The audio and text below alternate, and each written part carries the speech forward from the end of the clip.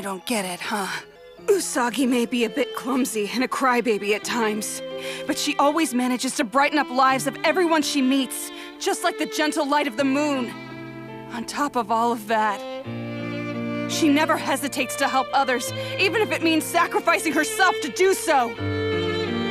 That's the kind of person she is.